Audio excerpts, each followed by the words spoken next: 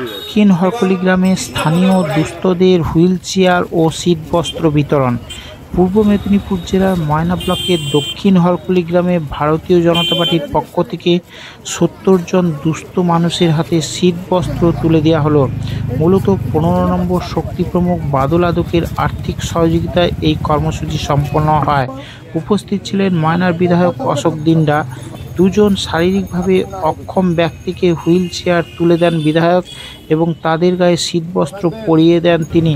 সেই সঙ্গে হুইল চেয়ারে তাদের বাড়ির পথে কিছুটা এগিয়েও দেন বিধায়ক। শেষে বয়স্ক মানুষের সঙ্গে কিছু সময় চায়ের আসরে আড্ডা দিতেও দেখা গেছে বিধায়ককে। ময়না থেকে সুজিত মণ্ডলের রিপোর্ট দেখুন, নিউজ ময়না লাইভ।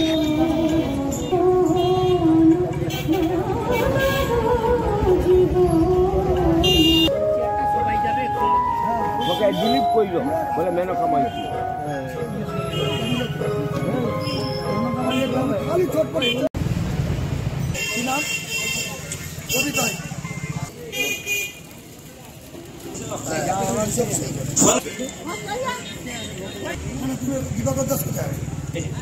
এরপরে রানী বেড়া, এবারে পুষ্প সাহু সাহু, প্রমিলা সাহুর হাতে। পান্ডা। এরপরে সন্ধ্যে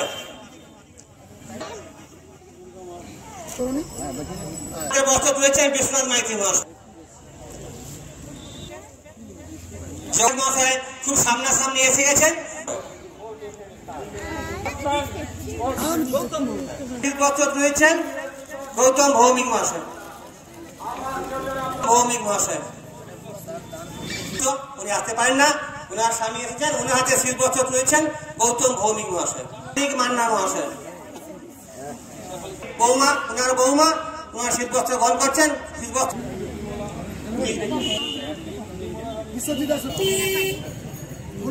বিশ্বজিৎ মাইতি মহাশয়। অঞ্জলি মান্না। রবি পাত্র। গ্রহণ করলেন এবং শীতবস্ত্র প্রদান করেন হাতে শীতবস্ত্র তুলে দিলেন। বাদল আদর মহাশয়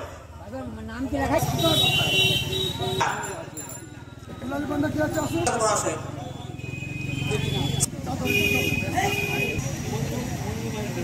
মই তুলেছেন বলরাম গাতায়ত মহাশয় বলরাম গাতায়ত মহাশয়